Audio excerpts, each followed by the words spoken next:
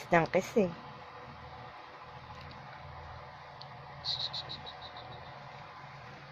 Love mo ba si mami? Hmm? Love mo si mami? Hmm? Love ba si mami? Mhm. Oh. Hmm.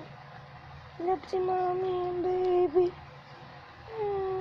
Enough na. Nag-workout ako eh.